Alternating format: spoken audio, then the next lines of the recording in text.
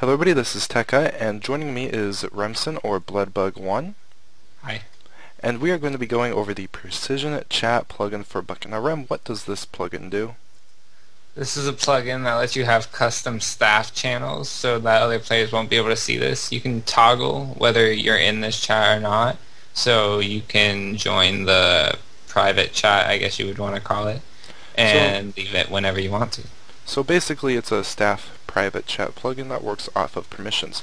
So the command for this is pc, and that will allow you to join the staff chat channel, and if you type something like this, you'll be able to see that it gives you a prefix and turns your name red. Now, if Rem types something in, you'll be able to see his name and staff as well.